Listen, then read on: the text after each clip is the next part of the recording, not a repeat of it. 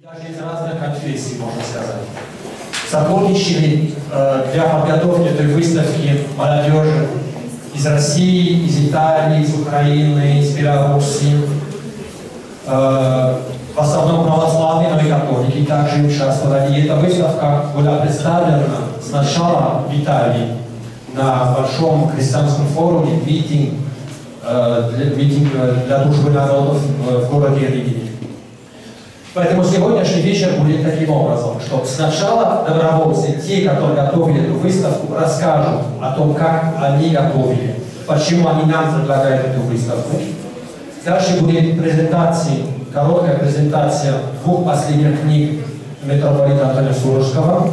И дальше Александр Филоненко нам расскажет об этой выставке, будет, так сказать, экскурсия по мере возможности э, по этой выставке. Поэтому сразу я передаю микрофон одному из добровольцев, Михаилу. Спасибо, Жан. Всем добрый вечер. Мне выпала серьезная ответственность начать эту выставку. А, и у меня серьезная ответственность держать микрофон так. А, э, меня попросили рассказать краткую историю, как, как откуда все родилось, как все началось. Я не могу рассказать эту историю начав от кого-то, я ее расскажу от себя. Однажды, 4, нам, мне было лет 16, и я приехал поступать в православную Вагнерскую гимназию в Ростове Великом, я думаю, многие знают. И в этой гимназии я встретил этого молодого человека красивого, Роман Константинович Шишинин. И мы встретились, и это была встреча навсегда. Как, как в лучшем смысле этого слова, которое всегда о котором всегда говорил Владыка Антоний, что встретившись, люди встречаются навсегда, если они встретились по-настоящему.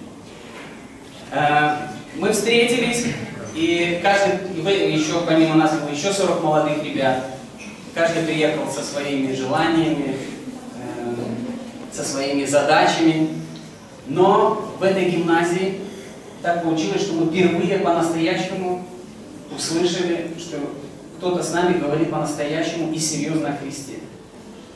И для меня это был опыт серьезнейший, потому что я вырос в церкви, я много пономарил, прошел какой-то определенный религиозный путь, и вдруг я встретил человека, который мне первый раз спросил, а кем ты хочешь быть? Я сказал, священником. Он говорит, прекрасно. А ты в Бога веришь? Я думаю, православная гимназия, интересно. Говорю, расскажи мне о своем Боге веру в единого Бога Отца Вседержителя. Нет, нет, нет, расскажи мне о своем Боге. Не читая ничего. И я молчал и не знал, что сказать. Тогда он сказал, ну, ты прочитал Евангелие от начала до конца? Да, я на службах каждый раз в воскресенье читаю, я посту слушаю Евангелие. Я тебя последний раз прошу, от начала и до конца прочитал? Нет. До свидания. Э, такое быстрое собеседование, его прошли многие, но история следующая, что мы поступили в эту гимназию, и как с таких серьезных вопросов честных, настоящих, перед лицом жизни она началась, так этот путь продолжился. И первый человек, это человек, который нам задавал эти вопросы, он также серьезно с нами поделился своей историей, своей встречей. Это было имя, которое я первый услышал. Это было, э, это было имя э, митрополита Антония Суровского.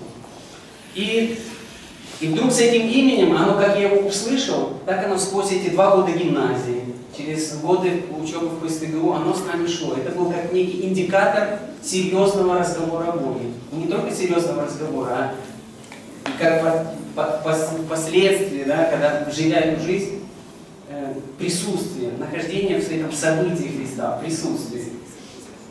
Э, и вот э, имя владыки Антония Сурожского. И однажды, там, на третьем курсе, кажется, университета, мне кто-то сказал, слушай, Тебе срочно нужно ехать в Киевский летний богословский институт.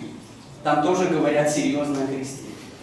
Я приехал в этот институт, мне говорят, на две недели надо ехать сразу. Я думаю, ну я знаю свой институт, ну точно летом тратить две недели на институт, да еще и богословский, я только сумасшедший может богословский факультет. Я не хотел, мне говорит, надо. И когда я туда приехал, первое, что произошло, я выхожу из автобуса, и вдруг на меня летит большой человек и начинает меня обнимать, и говорит, ты Миша, здорово, что ты приехал. И я никогда не видел, чтобы профессор какой-то ученый человек так относился к студентам. Это была встреча с Александром Семеновичем Филоневым. Вдруг эта встреча с этим известным философом, богословом украинским, она просто меня поразила. И это была встреча любви, которая стала очень быстро распространяться, как э, просто эпидемия. Он говорит, Миша, слушай, он приехал в Москву, мне звонок вдруг. Редко, когда звонят профессора тебе, да? Вдруг звонок от какого-то профессора, которого ты видел Вене там, месяца два назад. Миша, слушай, я в Москве, я очень хочу тебя познакомить с друзьями. Сегодня будет прекрасная встреча, приходи. И он знакомит меня с итальянцами, с нашими итальянскими друзьями и рассказывает, что я этих итальянцев встретил когда-то, так же, как и меня. Я в нашей встрече увидел вот эта серьезная встреча перед лицом Христа. И вот эта дружба, она продолжалась, продолжалась. И Александр Семенович говорит, мы все, на, наши итальянские друзья попросили одно. Э, я с ней познакомился, вот Эллина сидит перед нами. Э, и она, э, и они сказали, друзья, мы видим, что вы также серьезно стоите перед и перед именно в своем опыте, в опыте православного мировосприятия. Вы не могли бы поделиться самым святым, что у вас есть.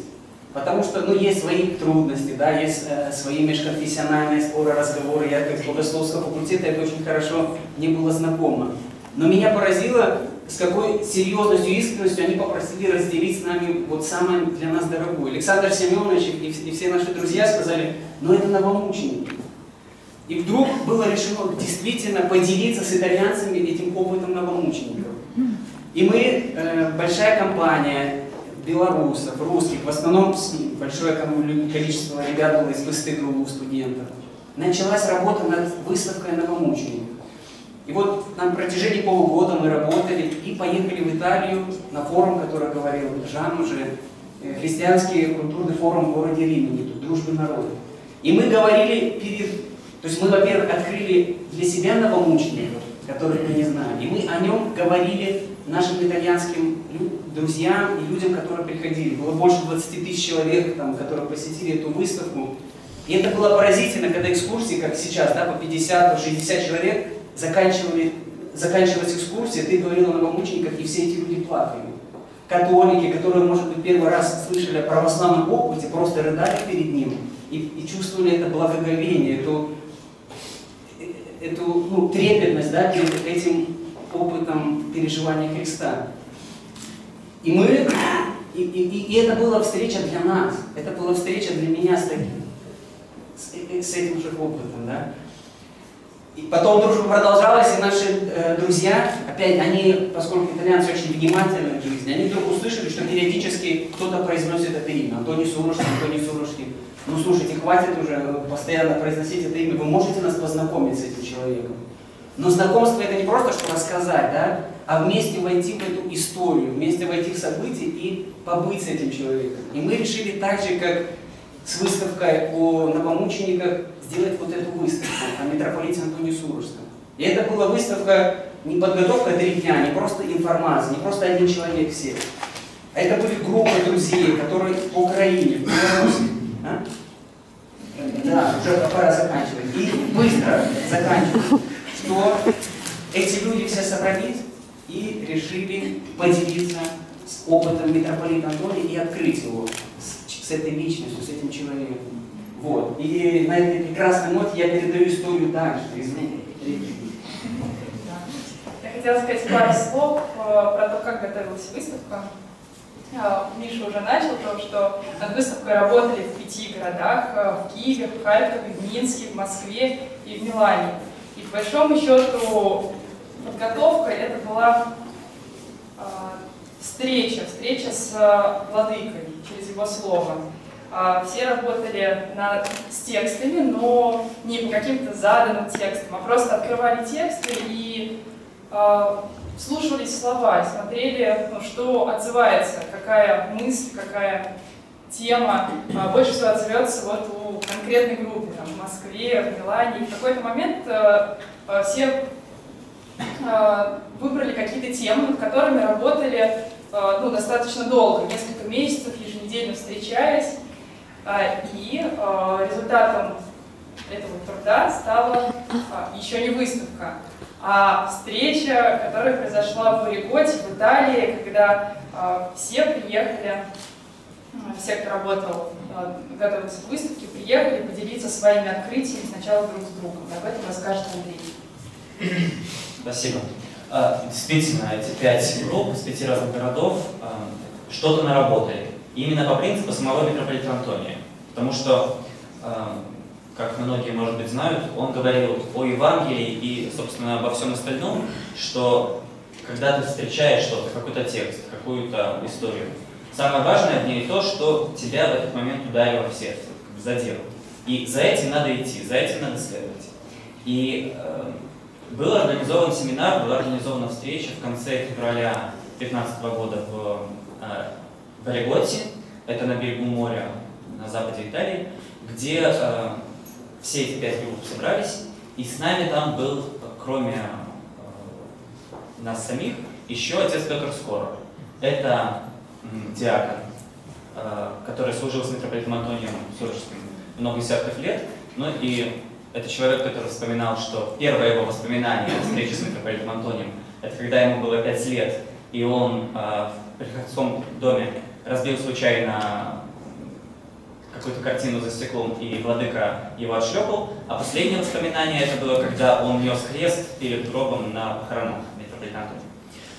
А, и несколько дней подряд, вот там, на берегу моря, где было холодно, и поэтому никто не купался, кроме самых э, сумасшедших, ну кто-то не знаю, здесь ли они, а, а, мы рассказывали о том, что мы наработали, и это постепенно превращалось из информации, из как бы, текста в какое-то действительно общее переживание.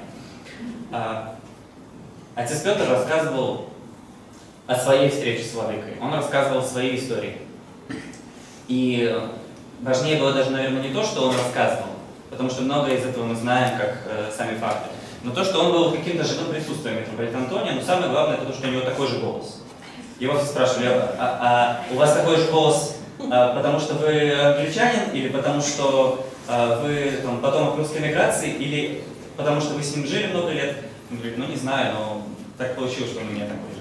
То есть мое воспоминание про отца Петра, такой благообразный старец, который каждый вечер садился с двумя семинаристами, которые тоже были в нашей группе, а, там вот в этой гостинице, где мы все находились, они все в трех черных подрясниках, они ставили три зеленые бутылки пива, и он рассказывал анекдоты про митрополита Антония, про то, как он разговаривал по телефону и другие. И, в принципе, из этого состоит наша выставка в каком-то смысле, но э, чтобы вы сразу не теряли к ней доверие, я э, хочу сказать, что все-таки все-таки над ней работали и богословы, и, например, Александр Семенович, который э, там был слушал все, о чем говорилось, и с каким-то вниманием собирал а, вот самое какое-то яркое из того, из того что, что мы откопали. То есть это вот какое-то а, вымывание золота в реке.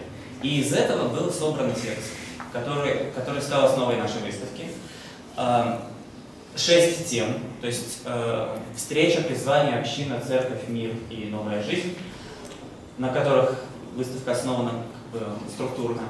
А, фило, философ Александр Семенович сделал текст, а дизайнер из Харькова Алексей Чекаль сделал вот эту визуальную сторону, без которой, конечно, выставки в этой не было. То есть здесь вот это синее, синее море, здесь это белое небо, здесь это белый снег, синее небо, не знаю, не знаю, что еще в этом увидите, но вот какая-то она такая светлая, легкая, и э, когда она была уже готова, через несколько месяцев после того, как мы собрались в этом семинаре, она поехала э, на сам фестиваль, о котором расскажет Роман.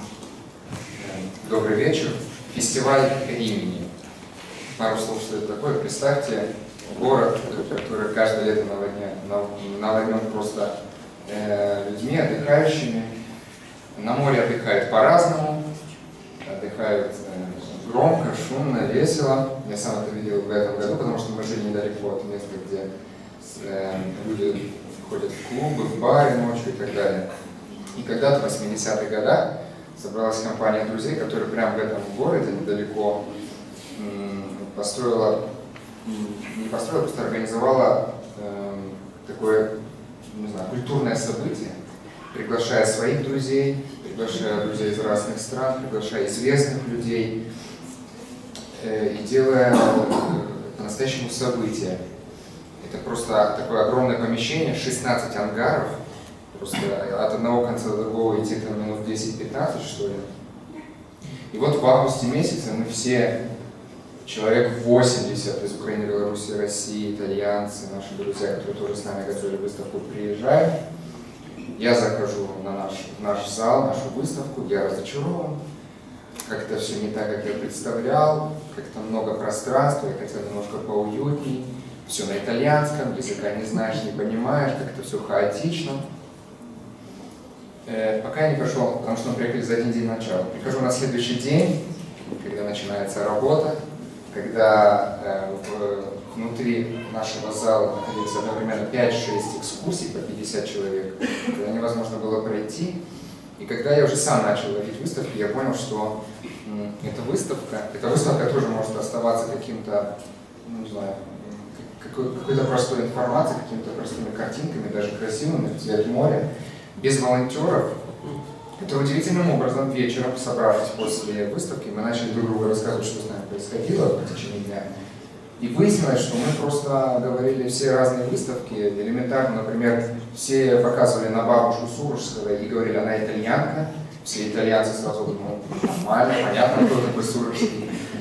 Выяснилось, что она не итальянка, итальянка была с другой стороны, со стороны... Не та бабушка. Не та бабушка была, да путали даты, путали какие-то хронологию какое-то событие, истории, путали имена, но почему-то все равно, независимо от информации, происходило то, что происходило с посетителями, которые в конце просто там плакали, я думаю, вы все поймете в конце. Э, э, и происходило с, э, с самими экскурсоводами, которые вдруг рассказывали не выставку, не только выставку человека, которого ну, в основном никто никогда не встречал.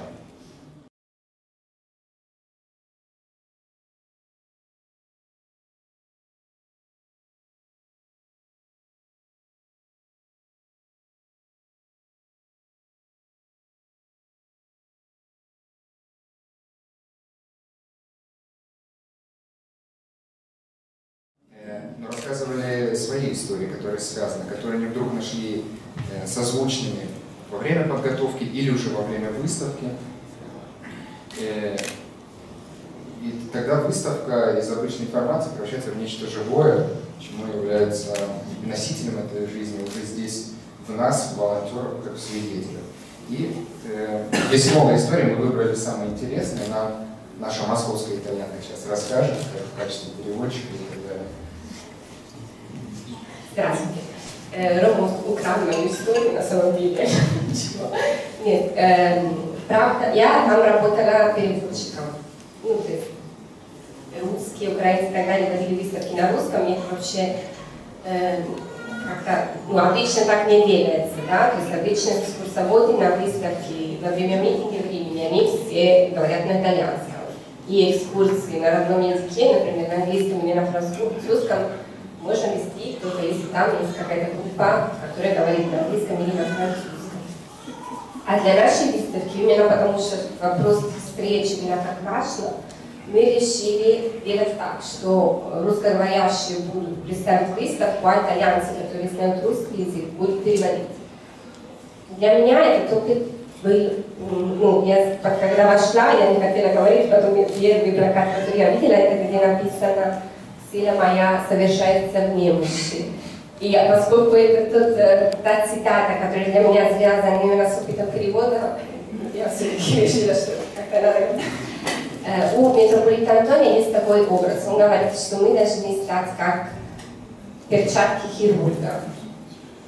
Тем больше они тонкие, чем лучше чем, чем больше они, ну, понятно, да? они должны тонкие, чтобы хорошо делать свою работу.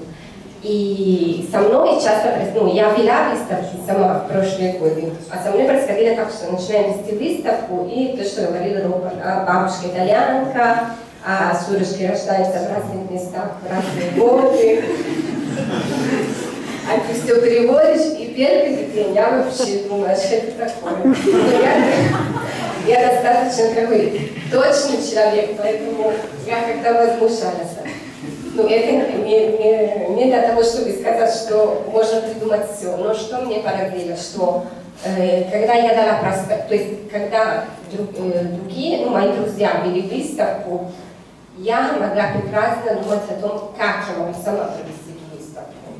Ну, и думать, что я знаю лучше, как переходить с одного плаката в другое, как, что отпускать, о чем рассказать.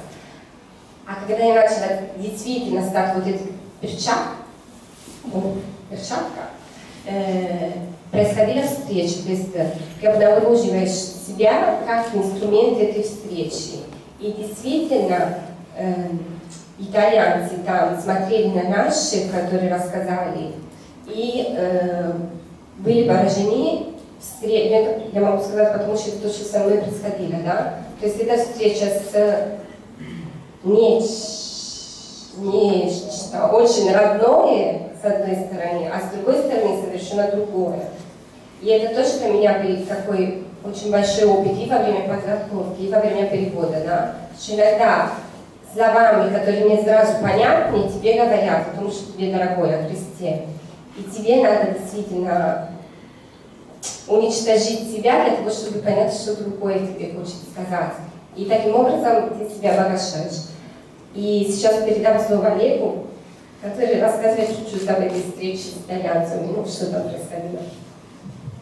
Я, я расскажу историю о хозяине гостиницы, в которой мы жили. Его звали Франко. Э, обычно гостиница в прибрежной зоне, очень много туристов и так далее.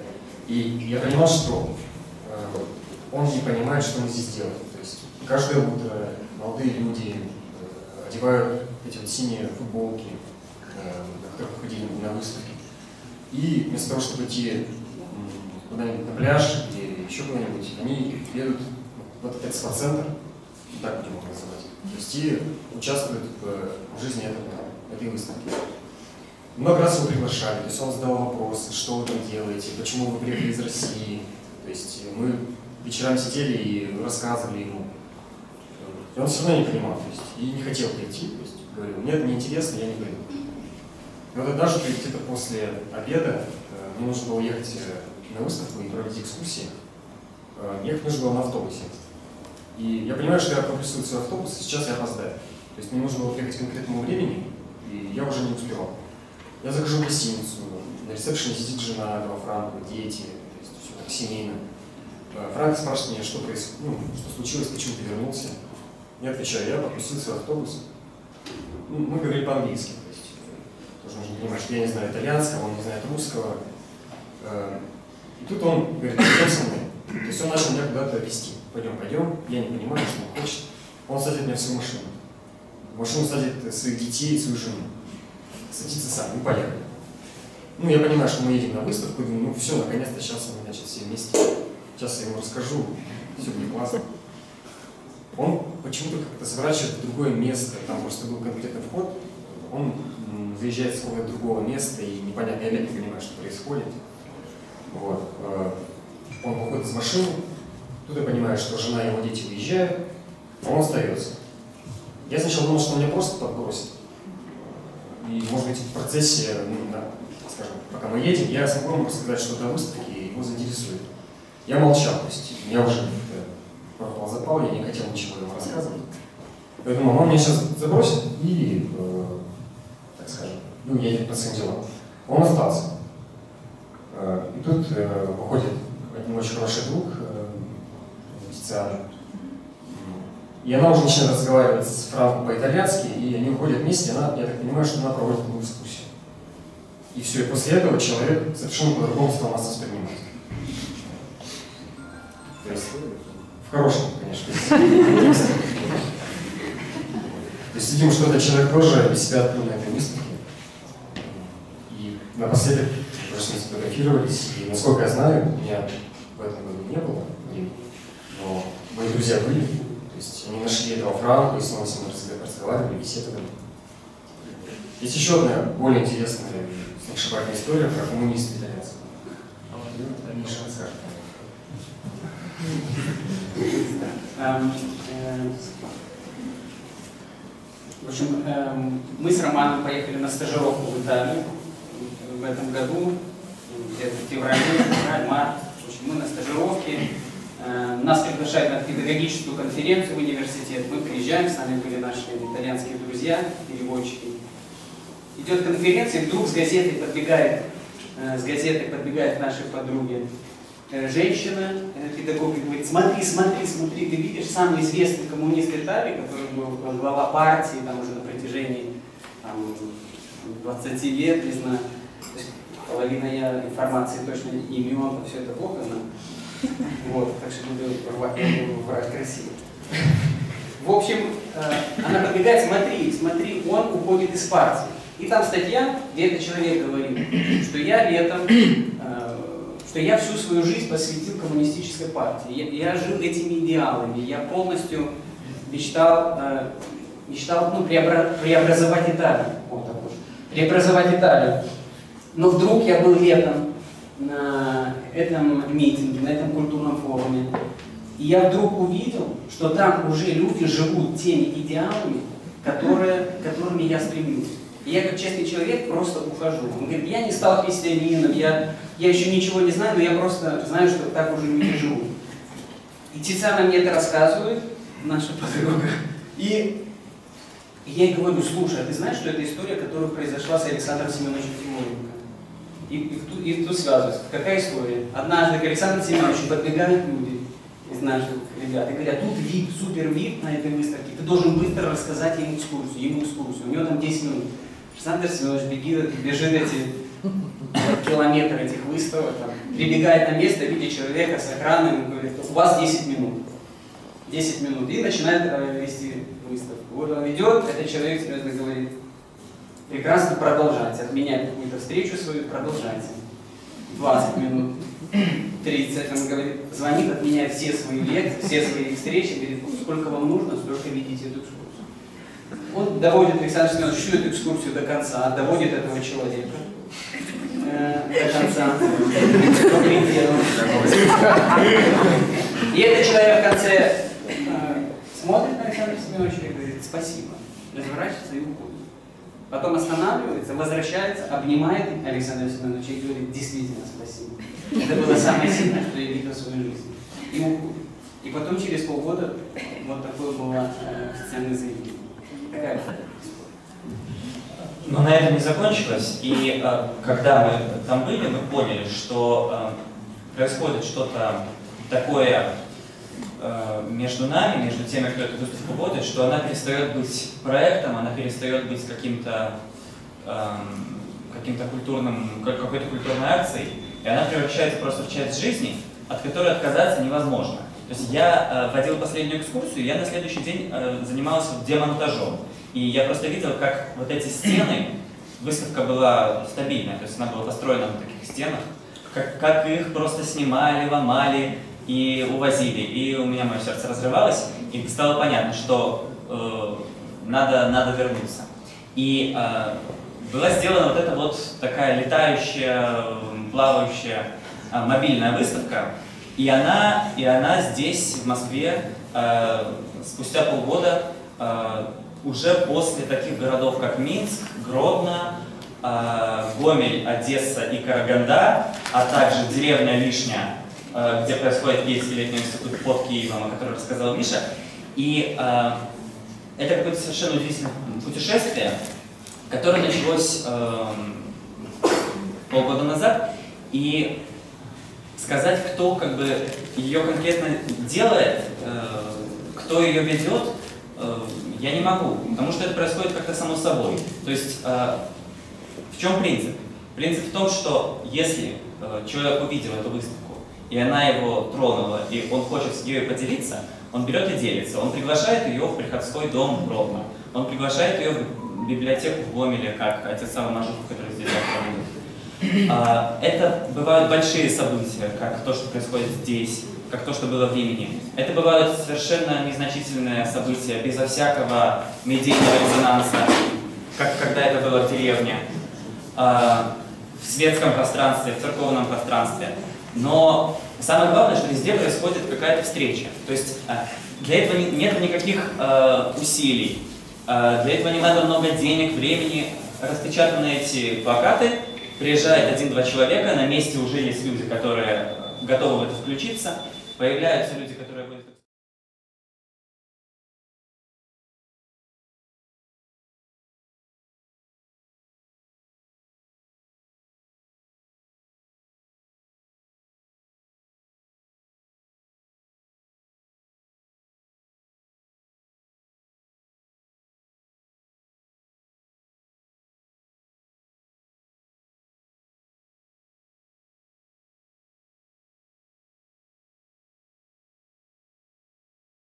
Да, о которой митрополит Антоний говорил. И я надеюсь, что здесь она тоже произойдет. Но вот одна из них, о которой я попрошу кратко рассказать еще раз Мишу, она произошла в его городе Гомеле, мне кажется, об этом важно сказать. Совсем кратко история. Город Гомель, Республика Беларусь. После этой встречи, как вы понимаете, с вами это произойдет тоже, вам обязательно захочется рассказать эту, о, о владыке Антоне об этой экскурсии своим друзьям. Точно так же я приехал в Гомель и понял, что я не могу не разделить это со своими друзьями. Вопрос как? Потом Дима Строцев, наш друг, который будет поступать совсем скоро, говорит, Миша, выставка, как Андрей сказал, да, что вы действительно сделали такой мобильный, и что только мы, как, как, как ее носители, просто ее возим и ей делимся. Если хочешь, она едет в Гомель. Я подхожу к своему другу, отцу Саме, может быть, говорю, отец Сам, вот такая прекрасная выставка. У нас в Гомеле много друзей, с которыми бы ее хотелось разделить. Давай, привози. Что я делаю? Я звоню практически всей этой компании друзей. И в Гомель приезжает где-то 20-25 человек просто. С Украины, с Беларуси, с Москвы, с Минска. И когда мама, мама спросила, а, ну, я говорю, приедут люди на выставку, прекрасно, сколько? 25. Как? Как так люди могут просто приехать? И, в общем, и мы приехали, действительно, все выходные, это было просто. Мы приехали, я пригласил друзей, потом и Александр Семенович приехал э, сначала заранее с Димой. Они ввели, как бы сделали презентацию этой выставки. Потом мы приехали просто друзьями и прожили эти три дня. Поговорили о Владыке Антоне, сделали встречу. И вместе с ребятами провели экскурсии. И мы уехали, и наши гомельские, мои гомельские друзья просто стали водить, водить эту экскурсию. И было интересно, э, что, э, что однажды я должен был прийти в эту библиотеку прочитать экскурсию для какой-то группы людей, но я просто не успевал. Мне звонил библиотекарша и говорит, здравствуйте, Михаил, э, срочно, срочно приходите, здесь 20 человек, нужно рассказать экскурсию.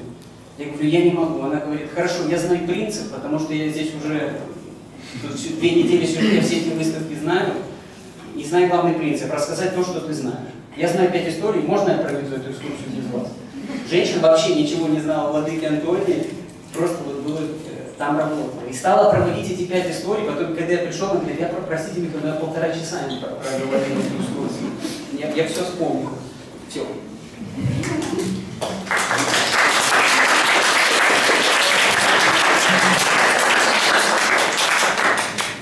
Маленькая инструкция. Все, мы заканчиваем. Маленькая инструкция. Сейчас э, после презентации книг будет сама выставка, которую Александр Семенович нам ее проведет. Слушайте, смотрите. Я точно знаю, что в каких-то местах, не везде, но будет вот это происходить.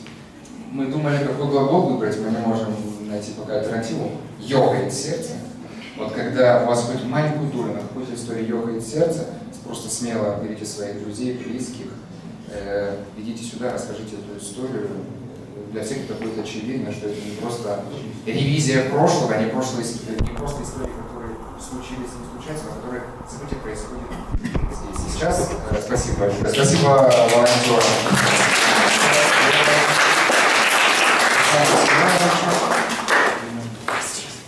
Дядя Дима, дядя Дима и я довольно. Добрый вечер. Буквально несколько слов о книгах. Мы представим а, книги митрополита Антония Сурожского. Я хочу позвать сюда Яну Родину, художника. Яна? Ну, может, кто-то найдет Яну, Она с ребенком. ребенком. Сейчас, чтобы она подошла сюда поближе, я начну рассказывать, а потом она скажет несколько слов как художник книги. Прежде всего о проекте э, «Новые мехи». Это белорусский издательский проект, который в основном специализируется на издании русскоязычной поэзии Беларуси, современной поэзии Беларуси. И у меня в руках есть одна книжка, вот эта вот, э, это стихи белорусского поэта Строцева, который можно приобрести в этом магазине. Вот. Но а, кроме э, книг поэзии, э, новые мехи э, издают и книги митрополита Антония Сурожского. И э, в Беларуси вышло две книги. «Быть христианином як э, научиться молитве». Э, на белорусском языке это первая книга Владимира Антония на белорусском языке. Новые мехи сотрудничают с российскими издателями и в сотрудничестве с э, издателем Волкова. Э, было издано несколько книг, вот буквально сейчас мы забрали из типографии книгу Александра Семеновича Филоненко «Жизнь меня Христос», митрополит Антоний Суржский. Э, несколько слов об этой книге. Она была написана для перевода на итальянский для того, чтобы быть представлены э, в 2015 году э, фестивале времени времени То есть эта книга появилась и вышла э, в этом же дизайне, в таком же исполнении э, на итальянском. И так же, как э, выставку, мы захотели эту книгу привести сюда, э, захотели ее э, представить на русском. И в прошлом году она вышла в Украине небольшим тиражом, и поэтому не попала ни в Беларусь, ни в Россию, почти, то есть в ограниченном количестве. И сейчас мы ее э, подредактировали и издали здесь. Э, волонтеры, экскурсоводы обычно э, они говорят каталог, потому что она представляет из себя такой расширенный комментарий к выставке. Но на самом деле это, не, это несправедливо. Эта книга имеет свою э, самостоятельную ценность. Э, это совершенно новый опыт. Уже есть э, несколько книг воспоминаний о митрополите Антонии. Это не книга воспоминаний, это э, структурный рассказ о владыке Антонии, о его личной судьбе, о его пасторстве, о его богословии в необходимой взаимосвязи всех этих составляющих. А исключительная экономия этого рассказа позволяет читателю вдруг увидеть опыт становления современного святого. Вот. Я не буду больше говорить об этой книге, потому что лекция э, Александра Семеновича это будет это лучшая презентация. А, а я хочу воспользоваться его присутствием здесь и рассказать о э, как бы случайно, неожиданно возникшей серии книг митрополита Антония, извините, сейчас я положу сюда, и оставлю в руках три книжечки. А, давным-давно появилась книга «Таинство любви». Вот Елена Львовна Майданович, присутствующая здесь, эту книгу собрала, и, по-моему, уже в 90-х годах она появилась и многократно переиздавалась в России, э, в Украине, Э, мы ее переиздали, а потом подоспели еще две книги, и так получилось, что мы э, посчитали уместным издать эти книги в одной серии и как бы сообщить им примерно как бы серийное название. Вот «Таинство любви», «Таинство крещения» и «Таинство примирения». Э, таинство любви – это не только таинство венчания, это несколько более широкий рассказ. Таинство крещения даже понятно, очень прямое название, и поэтому эта книга наименее э, востребована. То есть э, читатель наименее, э, в меньшей степени с ней имеет возможность встретиться. А вот таинство примирения э, первоначально было, имело рабочее название таинство покаяния. И вот опять-таки счастливым образом э, несколько усложнили задачу читательскую, да, и поэтому она тоже очень хорошо принимается. Вот я хочу сначала передать слово Диане Родиной, э, художнику-дизайнеру, с которым мы размышляли об этой серии. Дело в том, что э, да, э, видите, что книжки имеют такое несколько не, необычное оформление. Да?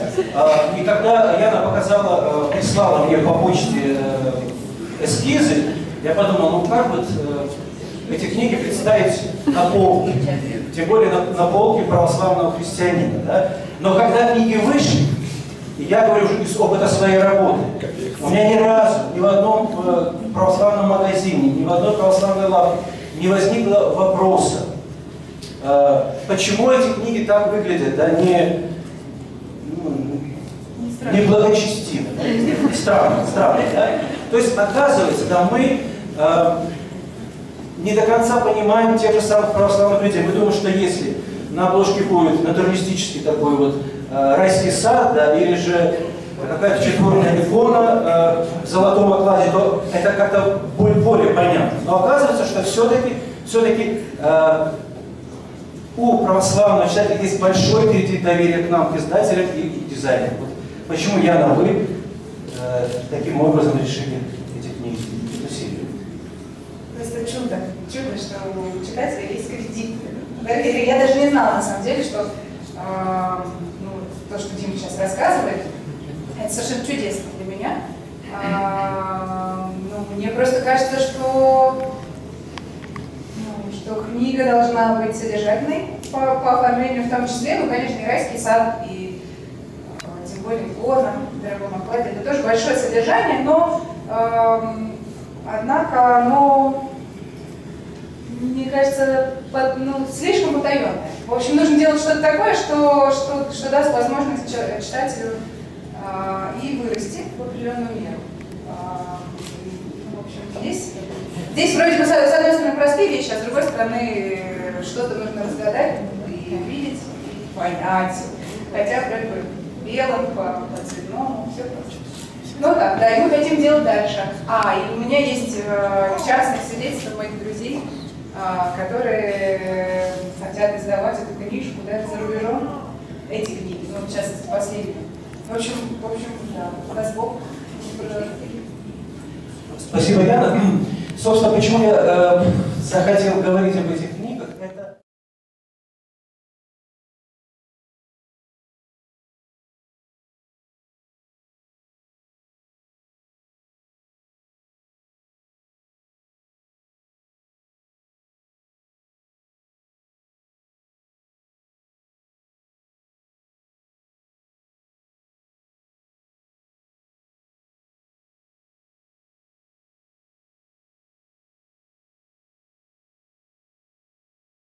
был счастлив, когда увидел эти три книжки. А, знаете, о Владыке Антоне рассказывать непросто, потому что его надо слушать, читать, смотреть, но иногда надо рассказывать. И иногда спрашивают, а как а, кратко сказать, в чем был его самый большой дар? Самый большой дар. Конечно, все люди, которые его знают хорошо, знают, что его самый большой дар был даром проповедника, но вместе с тем у него был дар такого человеческого сердца, который позволял ему говорить с любым человеком. И это тоже э, ясно, например, из нашей выставки. Но откуда эти дары? Откуда эти дары? Так смотреть, так обращаться к людям. Все-таки, конечно, э, по всем книгам о нем понятно, что он был совершенно необычайный, э, прежде всего священник. А Однажды он об отце Георгии Флоровском мне сказал, что вот вы спрашиваете о нем как богословие. Богослов был, конечно, замечательный, но вы только бы видели, как он махал кадилом. Вот если бы вы это увидели, вы бы поняли, что священником он был гораздо более потрясающим, чем богослов. А вот э, это в какой-то э, степени с владыкой Антонием тоже было так, но это не было всем ясно, что его этот, э, эти дары берутся из того, как он служит в храме. И э, в 20 веке возникла эта большая тема литургического богословия о том, что э, мы живем в такие любопытные времена, когда для нас опыт церкви, опыт веры в основном связывается с каким-то нашим внутренним порывом веры, решимостью, нашими действиями, нашей аскетикой, нашей готовностью быть верным Христу. И почти все книги написаны о том, как это сделать. И как будто бы мы перестаем отдавать себе отчет, что все наши попытки как-то отвечать Богу, они э, вызваны тем, что э, прежде всего мы как-то заметили, что Он по отношению к нам любит, безусловно, бескорыстно, э, не требуя ничего взамен. И вот это признание того, что вся наша жизнь начинается с дара, и единственным нашим ответом на это может быть благодарность, почему-то так нам ясно в нашей церковной жизни, то, что в центре Евхаристии и так далее, но совсем не ясно по Господу. Совсем не ясно, что этот опыт Евхаристии, опыт благодарности прежде всего, позволяет нам смотреть на все в нашей жизни. И, конечно, у этого взгляда на все должны быть какие-то большие учителя. Э, Очень-очень редко владыки Антоний говорят о человеке, у которого было литургическое зрение. Вот э, он видел мир, смотрел на мир, на людей таким образом, как он учился у чаши, но э, это, конечно, рассеянный был текст, но никогда не было так концентрировано. И когда появилась эта серия, я увидел вот таинство любви. Хорошо, это моя любимая книга. Дальше, следующее, таинство крещения. Я думаю, что они собираются? Все, что ли, рассказать.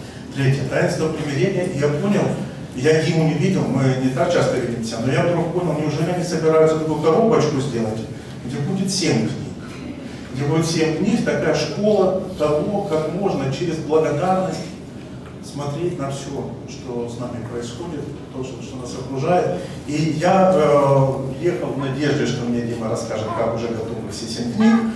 Оказалось, что э, это не такая уж э, распространенная широко идея, что одним из самых прекрасных, самых великих литургических просторов были не литургисты, а такие люди, как митрополит Антоний, который умел все видеть в этом свете Евхаристии. Попробуем погулять. А, мы поступим так, смотрите, никуда не двигайтесь пока. У нас с пространством а, а, устроено так. Выставка начинается в том углу. Вот так вот движется. Поэтому ходить буду я. Вы должны занять такое комфортное для себя положение, чтобы я вас не сбивал. Потом, там есть картинки, конечно, которые вам будет трудно видеть, но э, если вы будете следом, вы увидите все. А, и что нужно вначале сказать? Что эта выставка готовилась нами для того, чтобы на культурном фестивале в Италии рассказать о том, чем мы живем. Чем мы живем. И, и ребята об этом говорили. У Владыки Антония была любимая монашеская присказка, что никому из нас не удавалось встретить Царство Небесное, не увидев его в глазах одного человека. Вот для многих людей, наверное, здесь собравшихся, тоже таким одним из таких людей был Владык Антоний. Поэтому, э, наверное, мне просто страшно, неловко, что я должен рассказывать какие-то вещи, которые, наверное, две трети аудитории знают. Поэтому я буду рассказывать только то, что для меня самого было очень важно. Опять, э, э, этот рассказ это не то, что эталонная версия, здесь больше. И картинки все есть. А, но э, если вы зайдете на эту выставку в другой день, другой вечер с друзьями, вы услышите действительно другие рассказы. И это тоже самое ценное, что в этой истории есть. Вот я еще, еще скажу. Смотрите, вот представьте себе человека, современного человека, который ничего не знает, не только о Владыке Антонии, но даже не знает, что такое православие. Конечно, в Москве это, наверное, сложно представить, но в Италии нам нельзя было пользоваться такими словами, как епитрахиль, постная тревожь, цветная тревожь. Не было времени. Поэтому нам надо было построить рассказ таким образом, чтобы это была не просто жизнь об одном русском человеке, его судьбе в 20 веке и его уроках, его о том, что он понял за свою жизнь, нам нужно было рассказать какую-то другую историю. Так, чтобы любой современный человек, который заходил в это пространство, узнавал его вопросах свои вопросы, узнавал их в такой форме, что ему немедленно хочется получить ответ. И этот бородатый человек, который смотрел на него с большого плаката, давал, исполнял его обещания. Давал ему возможность получить ответ на этот вопрос. Поэтому все путешествие мы строили как шесть залов, шесть больших вопросов, которые есть в голове не только у православного, не только у христианина, вообще у всякого человека. Вопросы каждого, на которые дает ответы этот человек, так как он их понимал, а, когда проходил путь своей жизни. И поэтому на этой, эта выставка становится пространством, внутри которого для каждого человека важно, интересно, любопытно что-то услышать. Вот, а, но какой, какой мотив этого путешествия? А, а, Владыка Антоний, как вы знаете, с самого рождения он родился 19 июля 1914 года. То есть он э, прямо-прямо современник Первой мировой войны. Это очень важно помнить. Конечно, он всю жизнь стремился вернуться к себе домой. Ему это удалось впервые в 1960 году добраться до России. И э, вот э, ему хотелось вернуться. И, э, конечно, э, одной из самых важных для меня книг является книжка, которая там в коридоре тоже есть. Это э, книга проповедей, произнесенных в России. Все-таки сегодня уже, скажем, для людей, не живших те годы сознательно, да, совершенно трудно понять, что это было. Приезжает владыка, который э, может, имеет возможность проповедовать свободно, у которого есть 15 минут, ну 20, храмик, в котором он видит людей впервые, скорее всего, больше их никого не увидит, один единственный раз. Вот что нужно за 20 минут сказать такого, чтобы в этих словах была заключена вся твоя жизнь, вся твоя любовь, все твое желание вернуться домой. Вот, э, и он эти слова находил. Он был великий проповедник, но это книга проповеди, это книга таких проповедей проповедей. И вот самое первое, которое называется в книге «Любовь всепобеждающая», там есть слова, которые мы э, вынесли в нашей выставке как главную задачу, которую мы хотели бы не решить, но рассмотреть. В ней есть такие замечательные слова, вот они прямо на обложке. А, как будто бы все очень просто. Господь дал нам сегодня встретиться. Это слова, которые воспринимаются часто как вежливость просто. Бог нам дал встретиться, ну, бывает. Но для владыки Антония, может быть, это главная из самых грандиозных задач христианской жизни. Так научиться встречать людей э, на такой глубине, чтобы эта встреча потом не могла никогда закончиться. Да? Вот действительно каждая, в каждой встрече есть это обещание того, что нам дал Бог встретиться, но часто ли мы можем на эту встречу ответить так, чтобы э, наш ответ был на евангельской глубине. Это, конечно, не всегда получается. И вот он говорит, встреча это всегда радость, потому что всякая встреча от Бога, потому что всякая встреча это мгновение, когда люди оказываются лицом к лицу, иногда на очень короткое мгновение, а вместе с тем и навсегда. Ибо раз встретившись сердцем, верой, любовью, общей надеждой, под сенью общего креста, под сиянием общего грядущего победного воскресения, уже расстаться нельзя. Расстояние земли людей не разлучает.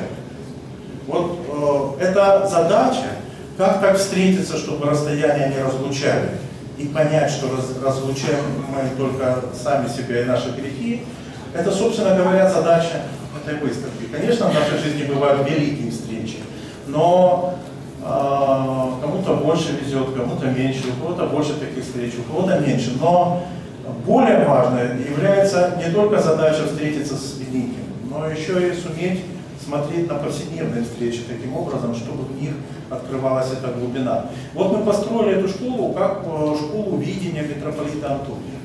Как нужно смотреть на человека так, чтобы внутри встречи мы смогли принять этот э, призыв Христа, увидеть человека как Божий подарок.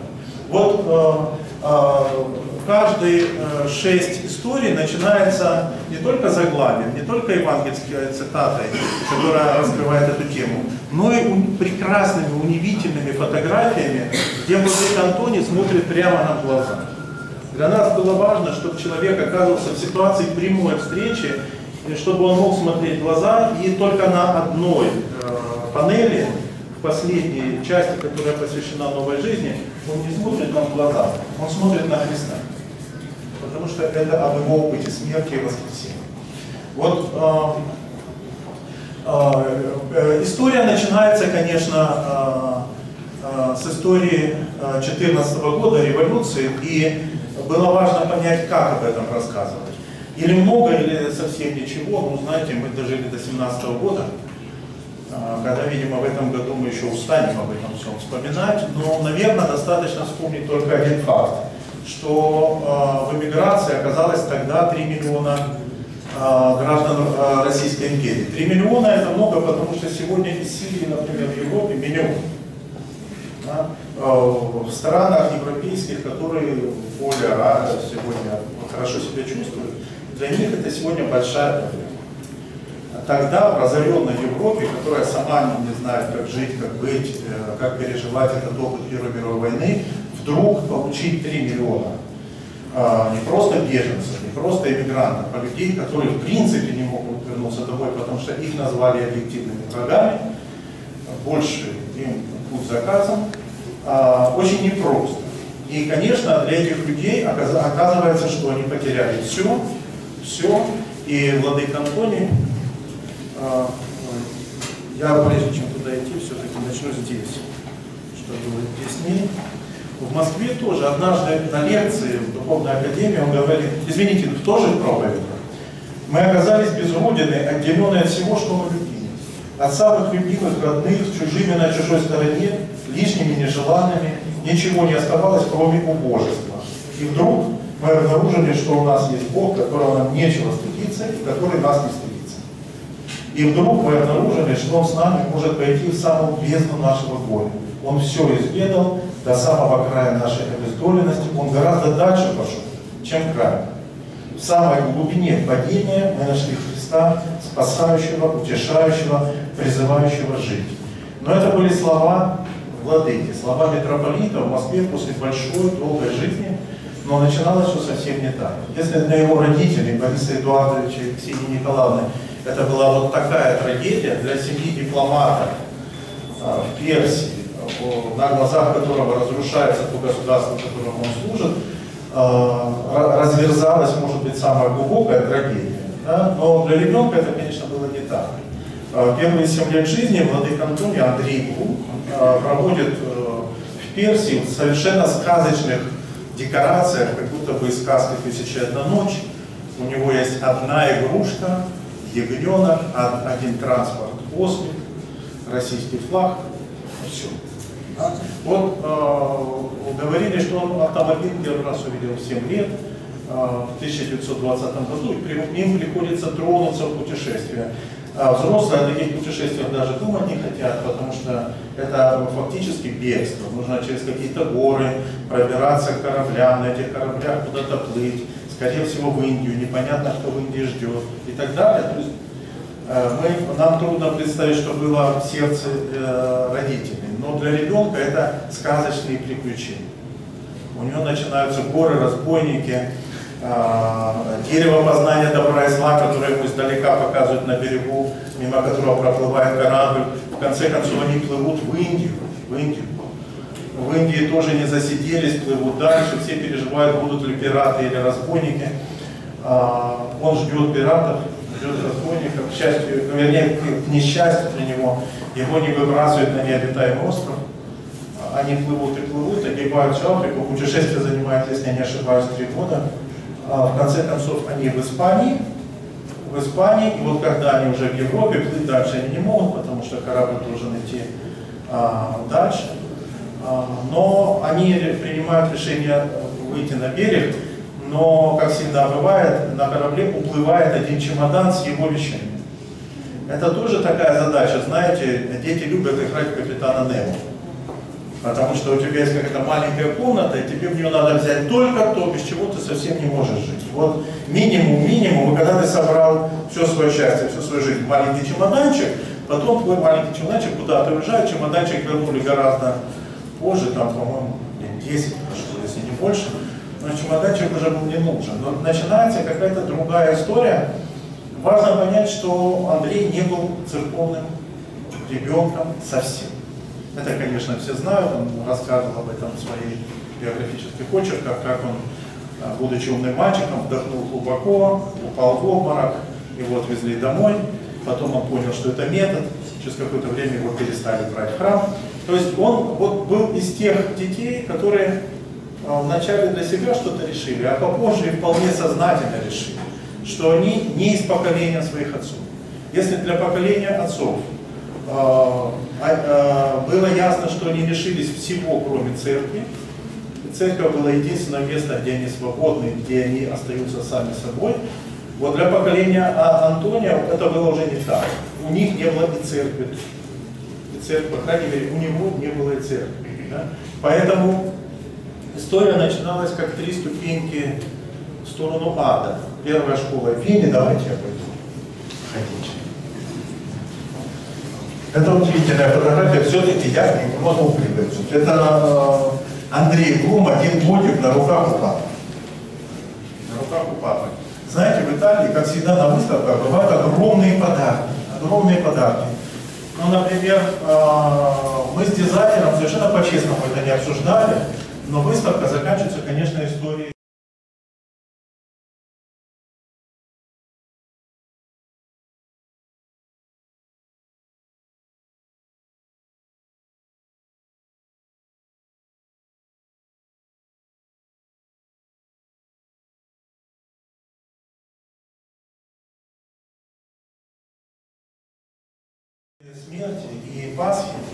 И мы всегда спрашивали, а посмотрите, куда он смотрит, куда он смотрит, что такое ну, опыт смерти.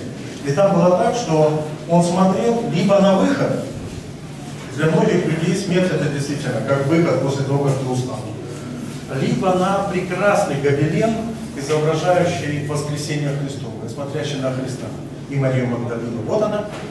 Либо вот так просто композиционно получалось, что он смотрел на эту фотографию как будто бы для него этот опыт воскресения означал опыт восстановления настоящего отцовства.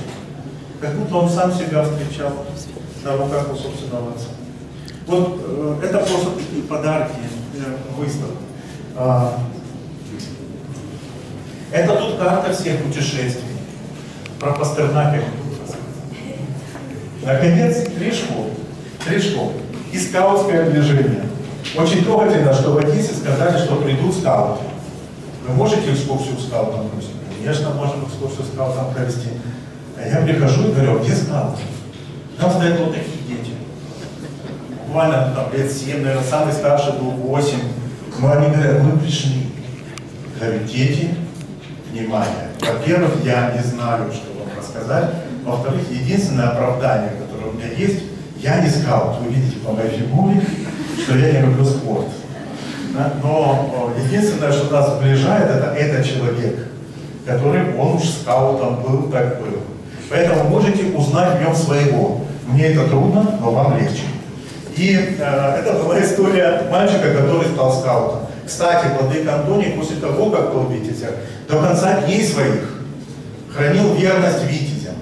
Вот вещи, которые стали ясны в Париже, например, это то, что он не просто всю жизнь играл, бил, играл в волейбол, но то, что в Париже до сих пор есть человек, который аккуратно ведет все волейбольные матчи, хронику парижского эмигрантского волейбола, оказалось, что он так не смотрел на свои таблицы никогда. Он обещал выяснить э, все режимы игры той команды, в которой был Андрей Борисович. Но э, одним словом, было вначале три ступеньки в какой-то ад. Но Венская школа это немножко даже смешно. Он пришел на урок после зоопарка, попросили написать сочинение на тему, над которой мы все вместе страдаем. Есть две великих темы, которые, которые нас всех объединяют в этой комнате. Кем ты хочешь стать как ты провел грех. А, а, вот а, тогда Владимир Антонию повезло с первой темой, кем ты хочешь стать. Ему было что сказать, он написал о том, что он хочет быть обезьяной, потому что обезьяна была прекрасная. И такого свободолюбия он раньше не встречал, он написал и ожидал, конечно, очень высокой оценки. Учительница поставила ему и сказала, посмотрите, дети, настоящий типичный русский барон, которому незнакомая благо цивилизации. Вот так как-то было понятно, что школа это все-таки трудносовместимая вещь по отношению к свободе. Вторая школа оказалась, э, парижская школа, настолько ужасная, если кратко, что это была школа-интернат, мама и бабушка не могли его жить с ним вместе, он жил в школе, он был хороший мальчик. Это будет ясно, что всегда для него было важно быть мужественным человеком. Вот этот мужественный мальчик все-таки в школе страдал. Страдал до такой степени, что когда после войны, уже после французского сопротивления, будучи епископом, он заехал в Париж, ехал в метро, читал книжку и случайно поднял глаза и увидел там название станции, которое совпадало с названием школы, потому что он проезжал этот район, он упал в обморок. Из моего рассказа вам может показаться, что он все время в обмороке падал. Я думаю, что он всего два раза упал. Вот э, с бабушкой в церкви, и так рано увидел название школы, может, три. Но э, вот э, школа была действительно ужасная. Вот э, э, видите, здесь, э, к счастью, нет этой цитаты, ну, где он говорит, ну, били, били, в общем, били, били, но не убили. И в этой школе я понял одно, что если ты хочешь выжить, то ты должен э, сражаться, что каждый человек друг другу волк, что нужно уметь себя защищать. И это вторая школа. И, наконец, третья великая школа, когда мама нашла работу, они стали жить так, что его стремление к счастью получило полноценный ответ. Вдруг после этих страшных лет они вместе, есть работа, а, больше не надо думать, что каждый день ты идешь защищать семью. Казалось бы, вот оно счастье. И случилась вещь совершенно неожиданная для а, такого мальчика. Он подумал, что он на такое счастье не согласен. Оказывается, счастье это совершенно бессмысленная вещь, когда больше никого не надо защищать, никому не служить, вот ты счастлив и все. И это было для него настолько опасное, разрушительное состояние, что он принял решение, что если он за год не найдет решение, то покончится. Опять можно сказать, что детей, знаете, бывает по-разному. Вот, покончить с собой. Меня всегда впечатляла история его силы воли. Э, когда однажды он спорил с другом о том, э, что для веры нужна свобода и решимость. И друг сказал, ну Андрей, ну что такое решимость? В конце концов, мы рабы каких-то очень простых вещей. Например, вот попробуй изменить свой почерк. Что там, власть, сопротивление, ну почерк над нами властвует. Вот ты пишешь, вот так ты будешь всю жизнь писать. Ну попробуй изменить. Он прекратил разговор, пошел, э, изменил. Потом он всегда писал таким почерком. Вот э, э, для меня этот пример является каким-то очень сильным только притчей о том, э, какой, какой волей обладал этот человек. И вот в этих, в общем-то, страшных условиях единственная радость, единственная душа на то, что возвращало для него смысл, это был, были скаутское, было скаутское движение, скаутские лагеря, благодаря которым а, произошло несколько шагов навстречу Христу. Здесь есть портрет отца Георгия Шункина, Э, священника, благодаря которому э, владыка э, встретил христианина. Ему тогда это все было очень непонятно, он считал, что его церковь совсем не интересует, но он встретил человека, который таинственным образом любит всех. Знает человек очень конкретную вещь. Он говорит, что когда мы, зверята, вели себя хорошо, он радовался. Когда плохо, он плакал. Но почему-то было ясно, что он принимает близко каждого из нас, это было совершенно непонятно потому что мне было понятно, почему любит меня бабушка, мама, потому что я их, но что это значит любить каждого человека, который совсем не твой, и плакать нем, и радоваться ему, это было неясно. Вначале он думал, что это личные персональные свойства отца Георгия, потом а, со временем он понял, что это и называется христианством. Вот в этом лагере произошла одна из самых великих духовных встреч 20 века. А, о ней принято рассказывать знал, я не могу. А, потому что это, по-моему, очень смешная история. Величайший богослов, отец Сергей Булгаков, глава, духовный вождь Парижской богословской школы, великий проповедник, был приглашен в скаутский лагерь. Знаете, как бывает. Значит, скаутский лагерь был рад. Но Андрей Борисович пришел играть в волейбол. Он очень любил волейбол. Ему сказали, что волейбола не будет сегодня. Потому что сегодня будет беседа с великим богословом. Он был не согласен, потому что церковь его не интересовала, и он хотел пойти домой. Но встретил Бажанова, который сказал, что это безответственно. Вы представляете, что разнесут в Париже, а нас а на спонсора не пришли. На одного спонсора перестанут нам доверять. И а, он а, сказал, попросил его просто сидеть в уголке тихонечко и заниматься своими делами, книжку читать. В общем, все так делают. А, и он приготовился очень хорошо к этой встрече, сел и начал читать. Но Владыка Антоний, между прочим, по-моему, нигде не говорит, что это Булгаков текст. Нет, нет, не. А, ну, все знают. Текстов он, конечно, это не писал, но вы представьте себе вообще задачу. Прекрасный отец церкви Булгаков говорит с детьми а, громко, во-первых. Это мешало ему читать. Во-первых, громко. Во-вторых, говорит какие-то ну, совершенно невыносимые, несносные вещи. Мальчики, которые готовятся ехать домой, возвращаться в Россию, освобождать ее от коммунизма э, там, и так далее, готовы жертвовать собой, сражаться. Им говорят, что нужно любить врагов, поставлять щеку. ну что это за а, такие глупости. И а, он в совершеннейшей ярости возвращается домой, просит бабу, спрашивает бабушку, есть ли у них эта книга. А, книга дома была, он выбирает, опять как он всегда говорил, а, что был умный мальчик, выбирает одно, смотрит четыре раза рассказана одна и та же история, выбрал ту, которая поменьше, Евангелие от Марка, а, все подходило, он стал читать, и с ним случилось то, что случилось. Вот эта фотография, мне кажется, очень важная для этой выставки, потому что э, без нее невозможно рассказывать эту историю детям. Потому что она буквально как зеркало, когда ты понимаешь, этот молодой человек для тебя старший друг, младший, старшеклассник, младшеклассник, ну ты смотришь ему в глаза. И вот когда мы читаем книги, что с 14-15-летним подростком произошла вот такая история, ну, бывает. У нас же житийный жанр, поэтому и не такое бывает. Но когда ты на выставке смотришь в глаза этому мальчику, то действительно это совершенно поразительно. Когда он сел читать Евангелие, для, для одной совершенно вещи. Убедиться, действительно ли там написаны все эти глупости, которые говорил этот отец. Если это там действительно написано, он не хочет иметь никаких дел с церковью. То есть это чтение на разрыв. А? И вот в этой ситуации чтения на разрыв он начал читать, и в какой-то момент он почувствовал, что перед ним кто-то стоит. Так ясно, что поднял голову, там никого не было, и он, в нем пронеслось рассуждение. Опять, вот э, выставка это не то место, где нужно обсуждать, что случилось. Мы можем видеть только то, какие протуберанции это событие вызвало. А, случилась встреча со Христом, он подумал, если он стоит, то значит он воскрес, если он воскрес, то не исключено, что это все правда, что здесь написано, и то, что я читал. Если это все правда, то. И у него появились три то, три следствия, которые совершенно изменили его видение того, что с ним происходит, например, в ужасной школе. Он подумал, что э, если такой отец, такие дети, то мы с этими всеми моими прекрасными одноклассниками, мы все братья и сестры. Может, они об этом не знают, но я знаю. И теперь я не могу на них смотреть, как на тех, с кем я должен враждовать. Вторая вещь, она совершенно поразительная, что этот Бог, о котором я читаю сейчас, это тот, кто никогда не согласен принимать меня как раба.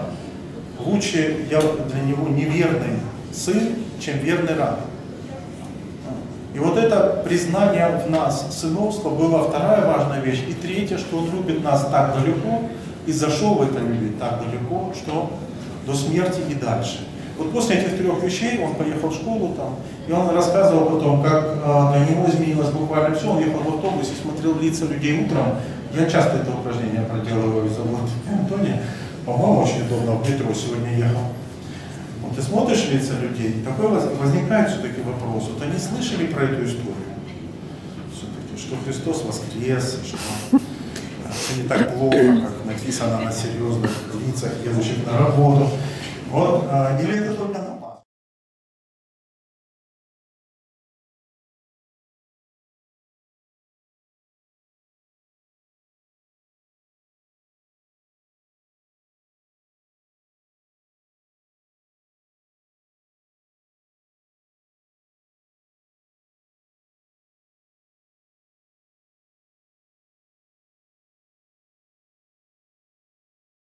желание рассказать этим людям о книге. Но он говорит, пробовал, кстати, не кстати, и с тех пор всю жизнь только и этим занимался, больше ничем, а рассказывал всем о том, что случилось. И он это рассказывал в своей лекции в Московской Духовной Академии, что, собственно, в своей жизни он не мог э, больше молчать о том, что случилось.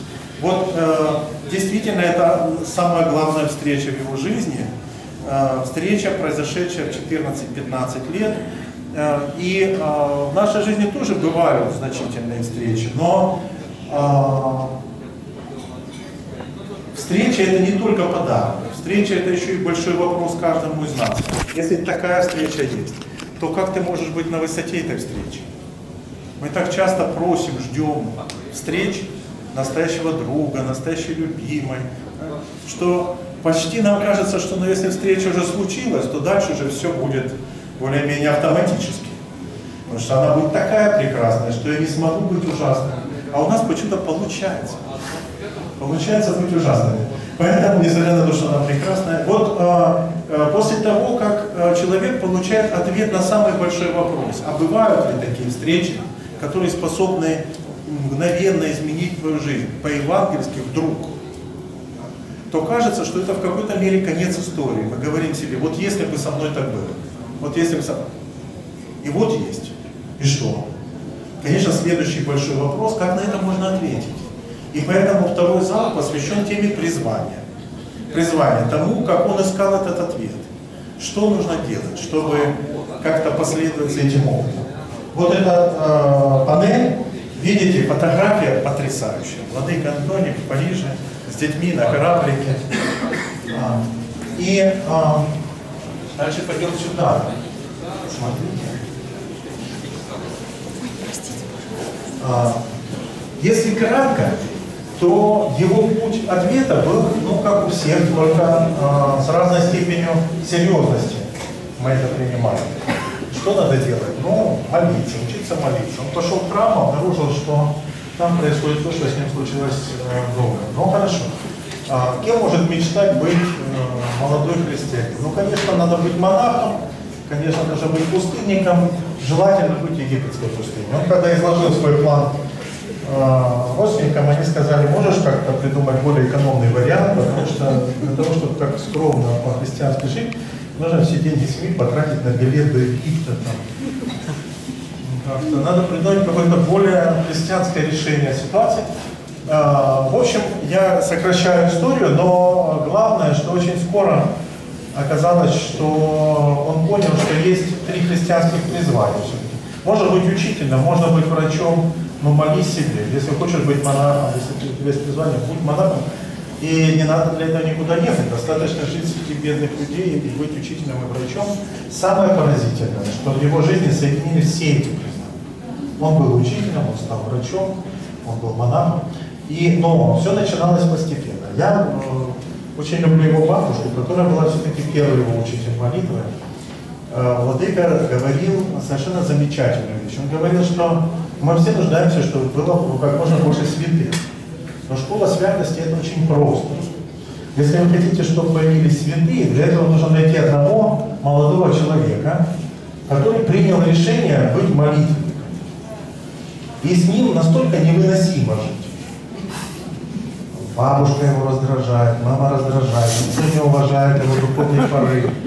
Все лезут прямо в его молитву, предлагают делать что-то по дому. Пылесос, магазин вообще есть масса искушений, и э, как бы вот тебе все время не дают молиться, не дают вести э, подвижническую жизнь. И он говорит, вот моя папа, благодаря бабушке, я понял, что вообще лучший способ производства святых, это надо одного молодого человека, молитвенника, поселить, и все вокруг в доме постепенно приобретают черты святости. Потому что выдержать этого человека совершенно немыслимо. Нужно быть немножко святым, чтобы выдержать одного молитвенника. И вот у него бабушка, она была точно святой. И а, вот первый стенд фактически ей посвящен. Но потом случилась более серьезная история. Это знаменитый парижский подвал, в котором храм, там видна Эфирова башня. Вот это те самые подвалы и гаражи, в которых а, происходила встреча с Христом, который нас не стыдится и которого можно не стыдиться, э, для поколения людей, которые не знали великих соборов. Вот э, однажды э, Андрей зашел в этот храм, вот на этой лестнице, храм трех святителей, встретил этого человека, который поднимался по ступеням.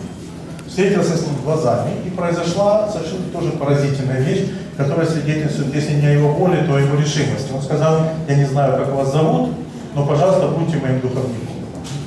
Это была встреча на очень долго, это отец э, Афанасий Нечаев, о котором я не буду сейчас долго рассказывать, я скажу только одно, что именно он благословил его в Сорбону, именно он принял от него тайный монашеский постриг, это тот человек, который принял э, просто монашеский постриг, который был его настоящим учителем молитвы.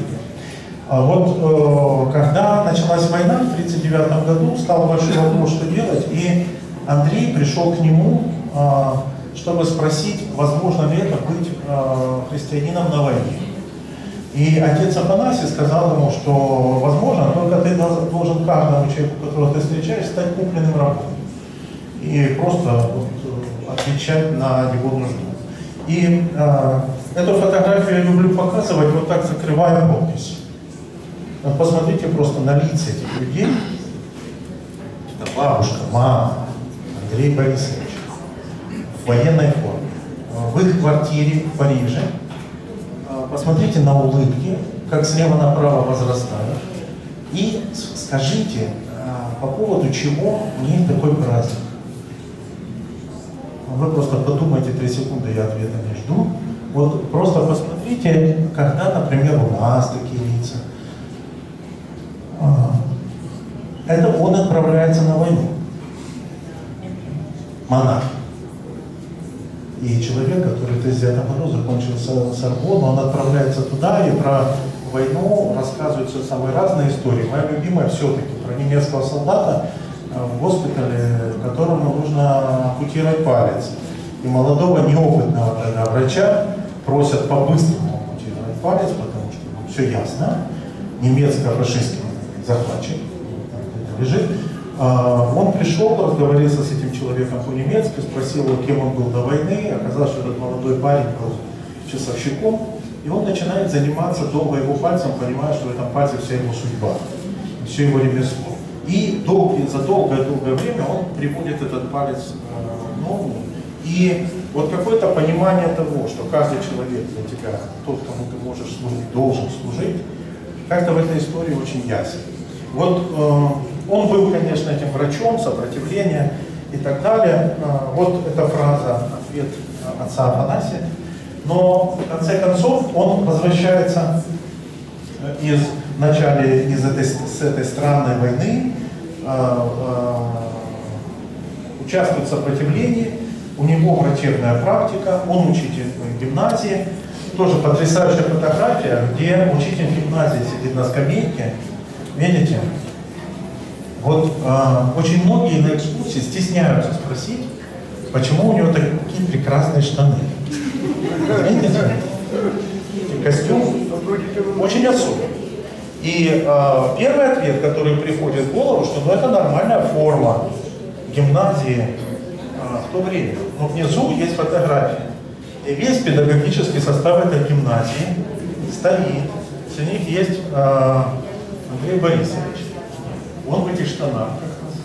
Но интересно, что больше ни у кого таких. Больше ни у кого. Так выглядели монахи, учителя, врачи образца 44-45 года в Париже. Посмотрите. Надо запомнить лицо. А? А? Нет. Россия.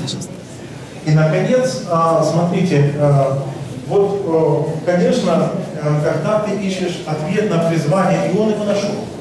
Потому что э, он вернулся с фронта, принял постриг, отец Афанасий умирает, и э, Париж, ему 30, э, 30 лет, Э, и, казалось бы, так будет продолжаться и дальше. Первое неладное почувствовала мама, которая начала епископа просить о том, чтобы он даже и не думал. Даже и не думал. Епископ даже все понял. И он даже не думал. Маме казалось, что вот э, епископ должен понять, что призвание ее сына – это учитель, врач, врач, учитель. Практика есть, все слава, все монашество. Ну, священство. Чтобы у епископа не было искушения, она ему категорически напоминала, что нет, нет, нельзя.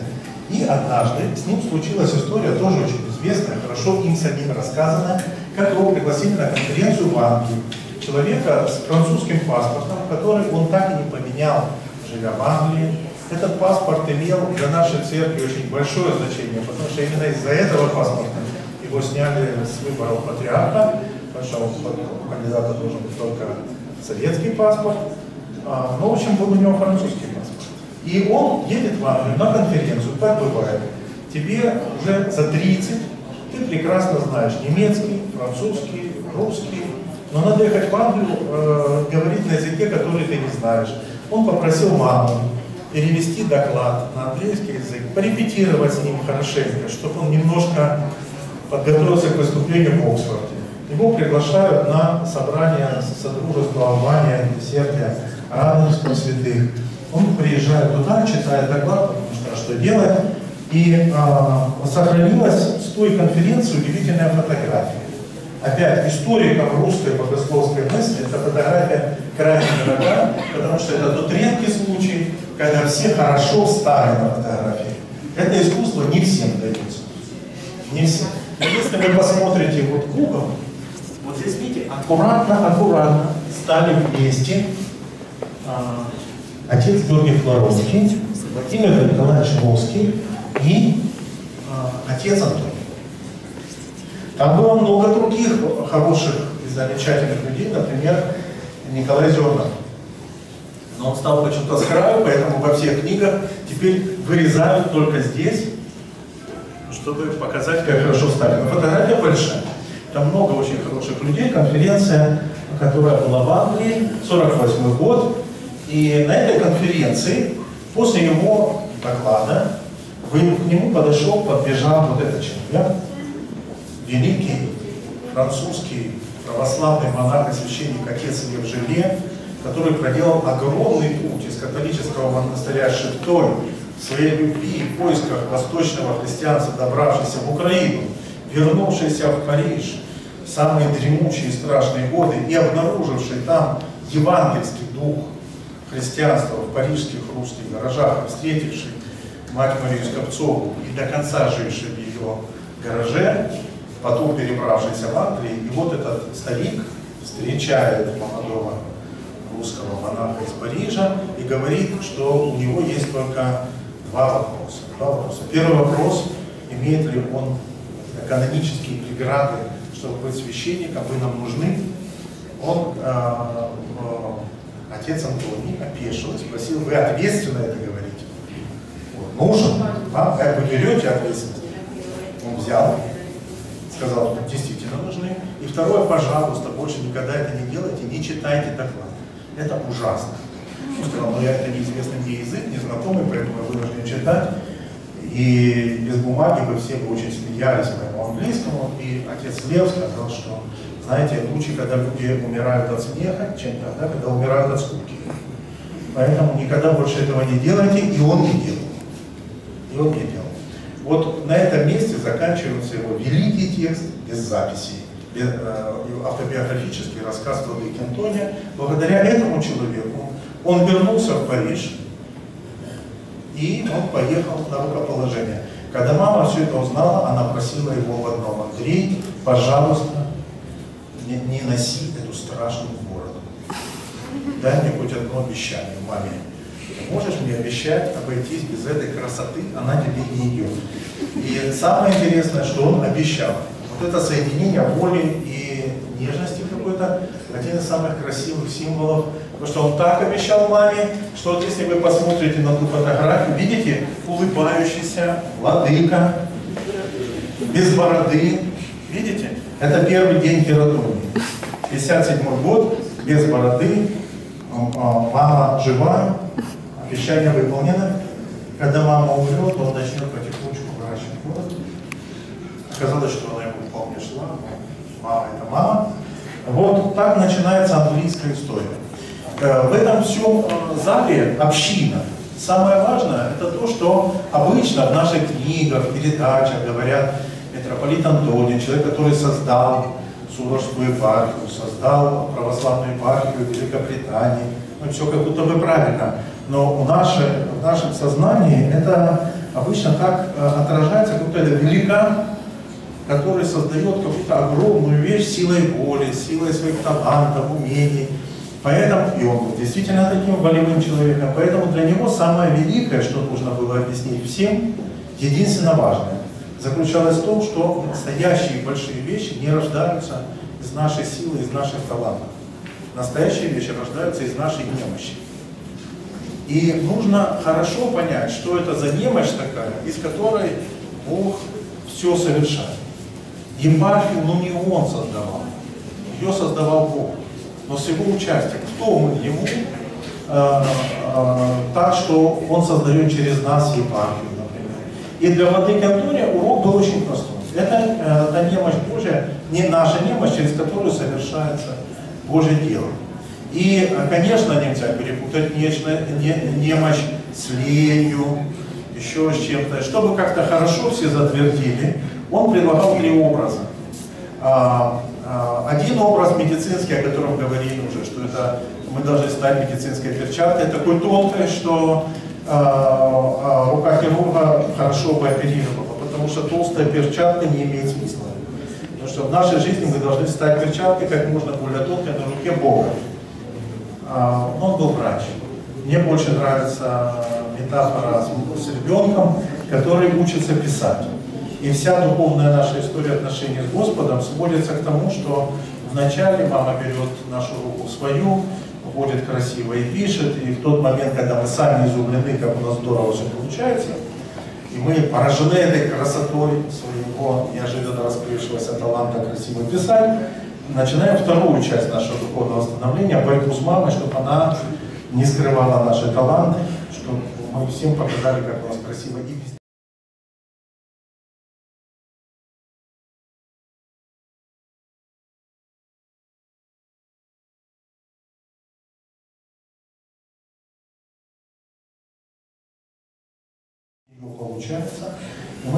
писать без нее. Это так ужасно, что даже самим не хочется на это смотреть.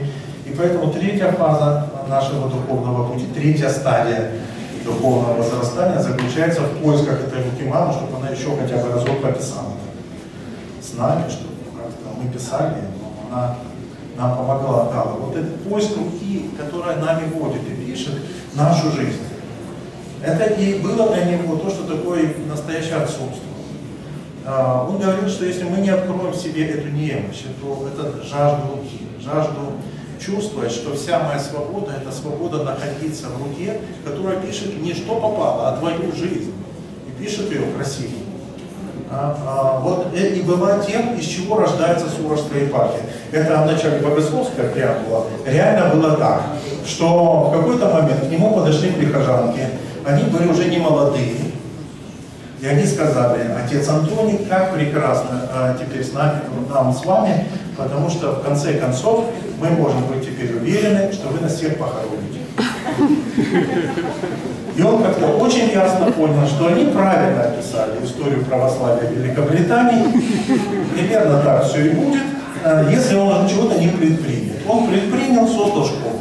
И вот из этой школы а, и детей, которые стали с ним заниматься, потом выросли священники, потом появились священники Сурской епархии, потом появилась епархия. И это глава, а, глава общины, это история а, становления епархии как уроки немощи. Вы можете там потом почитать. Следующий зал, это зал церкви. Вот в какой-то мере ответом на вопрос о призвании является поиск тех, с кем мы можем разделить это призвание. Вопрос общины. И очень часто мы слышим, вот смотрите, со мной была встреча с Богом, но достаточно хранить ее в сердце. Ну, неплохо. А, как будто бы нам непонятно, зачем нам еще община. И это, конечно, большой вопрос. Зачем нам всем община? Но есть вопросы посерьезнее. Зачем нам церковь? Ну, община же уже есть. А, конечно, мы богословски говоря знаем, что в литургии есть вся полнота церкви, ну хватит. А вот это церковь, церковь, тайна церкви, это что такое? Вот, чтобы об этом рассказать, а мы избрали такой путь. Мы рассказывали всего две истории.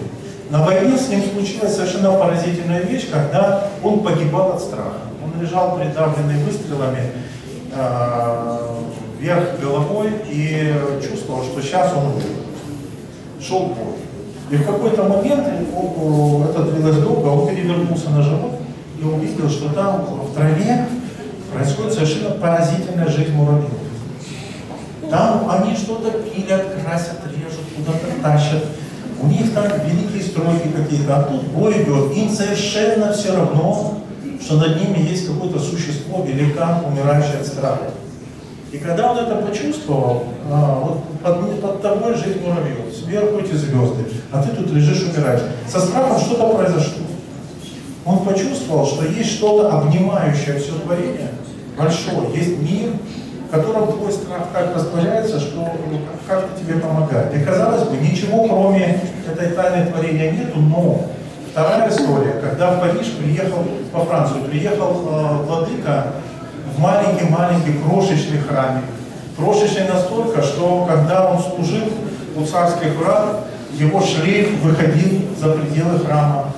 И священник, э, расстроенный происходящим, сказал, простите, владыка, за то, что у нас такой,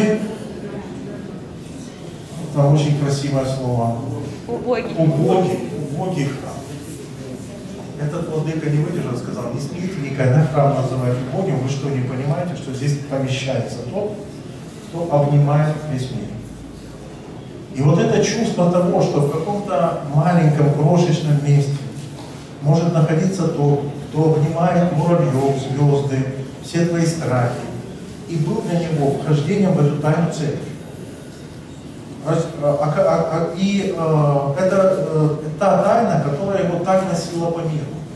С одной стороны, мы о нем, конечно, знаем как о великом британском проповеднике, человеке, которого американская церковь прямо перед смертью наградила самой высокой наградой американской церкви за вклад в пробуждение веры в Великобритании.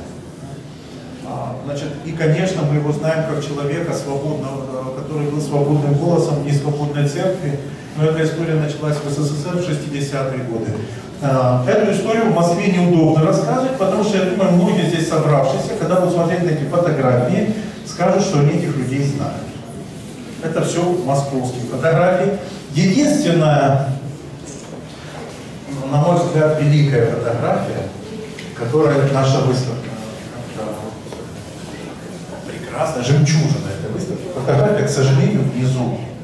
Я мечтал ее увидеть разогнанной просто на всю стену.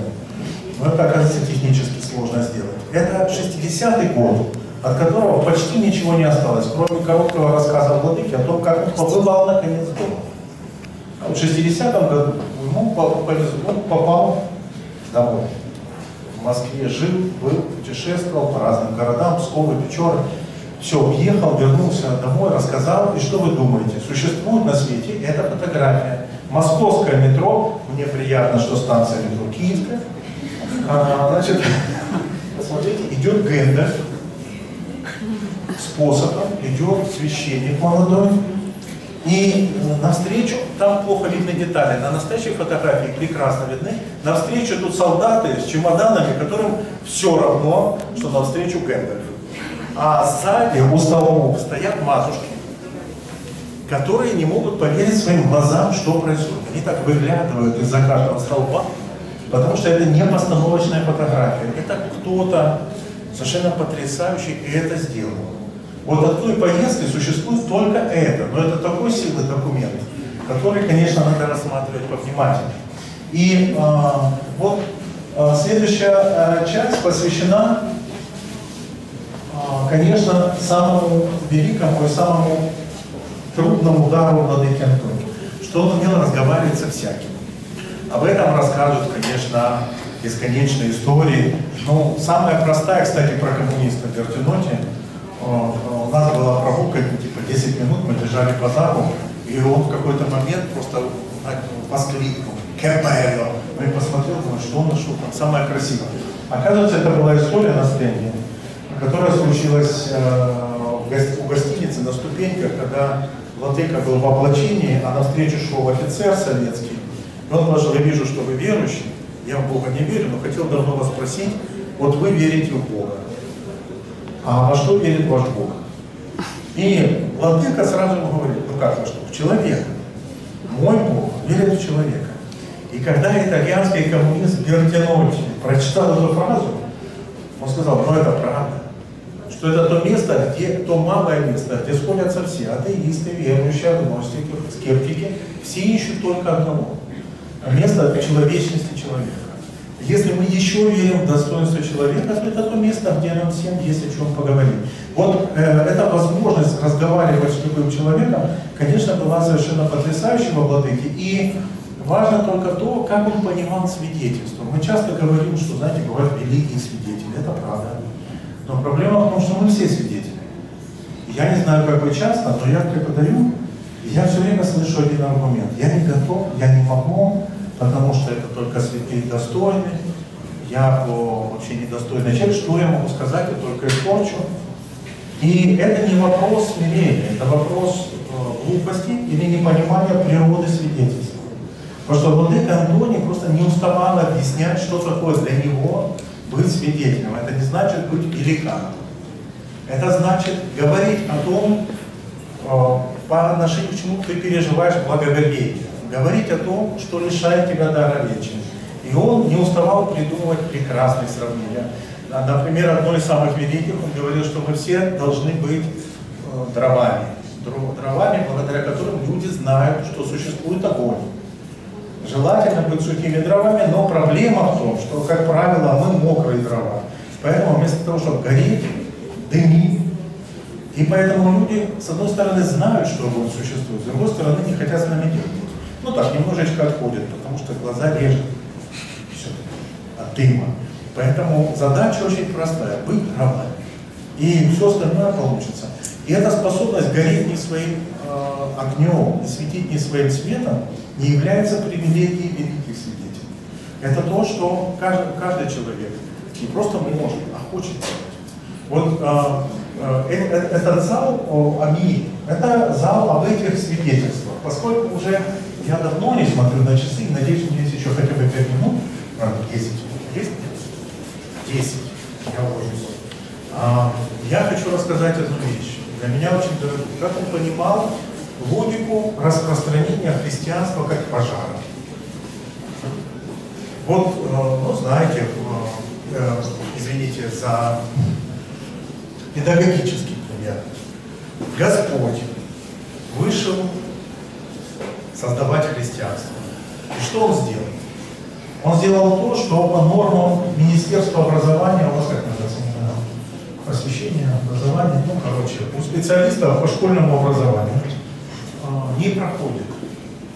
То есть, во-первых, он набрал слишком маленький класс. 12 учеников это как-то несерьезно. Что это за класс? Если ты собираешься создать церковь, 12 учеников, 3 года школы, они все перепутали, все недопоняли, сделали все ошибки, которые могли, несколько раз предали, в общем, все было. Все было.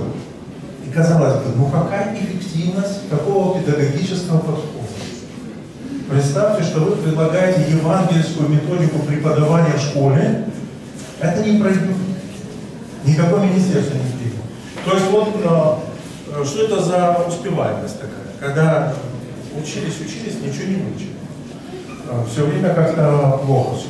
И вот э, Владыка, он всегда говорил, что христианство, оно распространялось же ведь не через эти слова, а потому что есть огонь, ты зажигаешься, в какой-то момент ты бросаешь свою работу, идешь, три года непонятно где ходишь, интернета не было, семья ничего не знает, куда ты делся.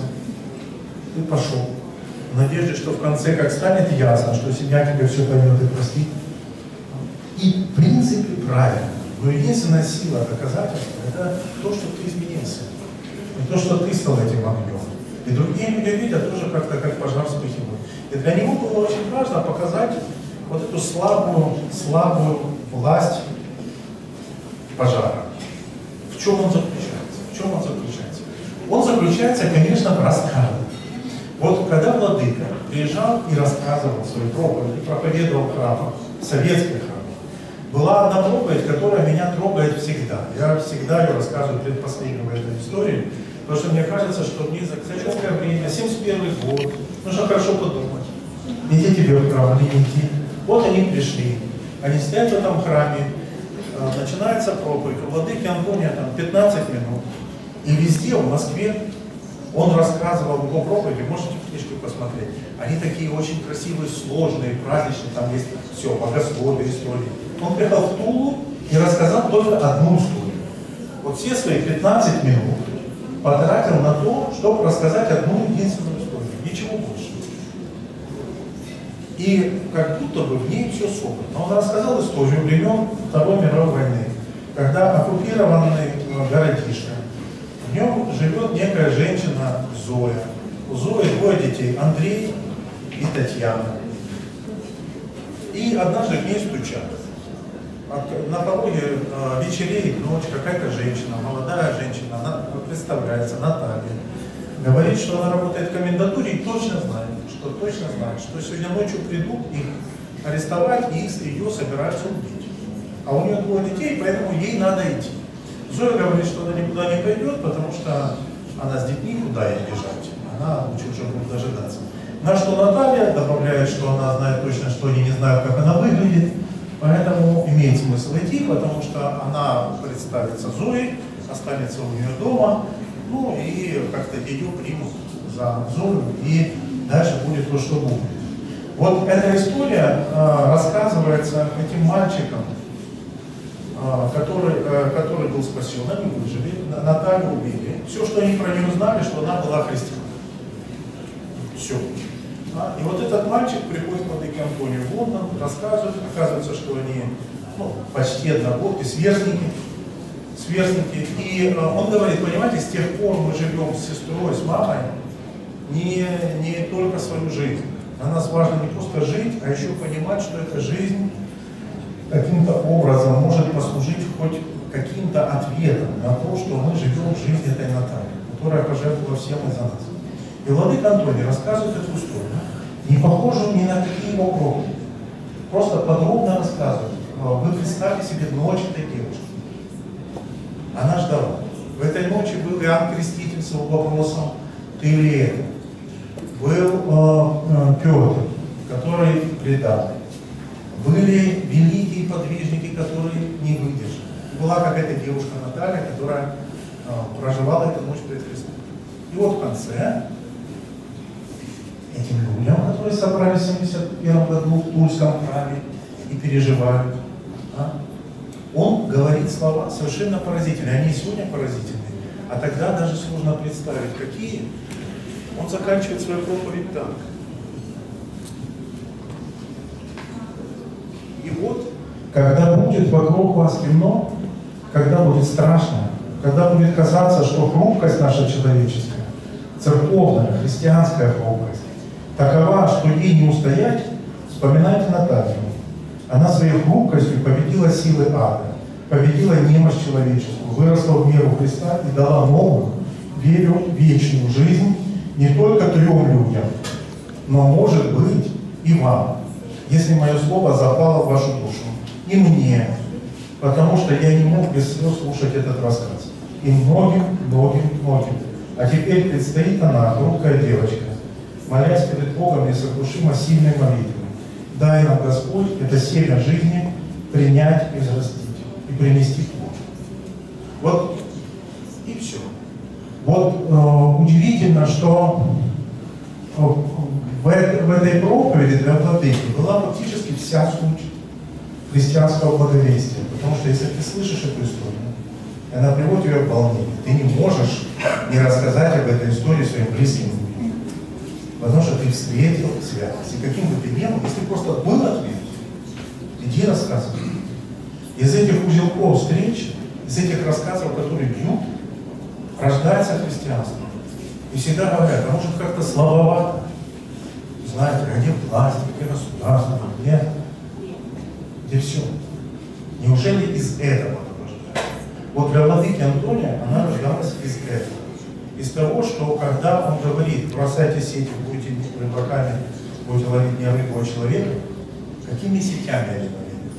Они ловили этими сетями свидетельства любви, которую нельзя скрыть. И когда говорят, готов ты быть свидетелем, не готов ты быть свидетелем, да рассказывай уже внятно, что ты там любишь и кого ты любишь. И все получится. Вот все остальное будем делать не мы. Вот понимание христианства в миру, как этой общины свидетелей, свидетели, которые не хотят и не могут скрывать свою